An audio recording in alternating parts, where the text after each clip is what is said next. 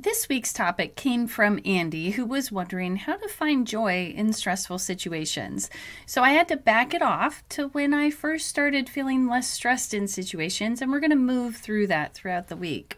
So if you have a question or a topic you would like me to address, like Andy did, please comment below or DM me on Instagram.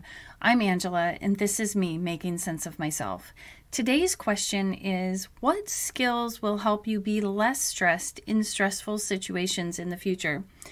I think the skills that help me be less stressed, number one, is the breathing techniques, noticing when I'm shallow breathing. Number two would be remembering that when I'm in that situation, what happens is I get tunnel vision and I need to start remembering that there are more available options than just what I'm thinking of right in that moment.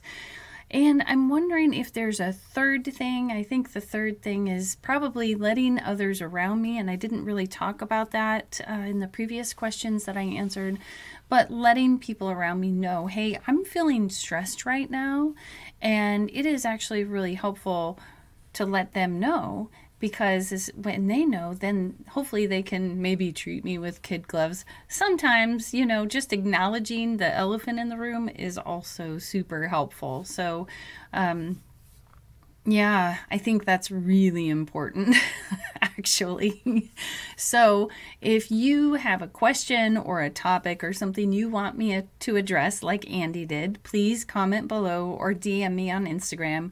My name's Angela, and this is me making sense of myself.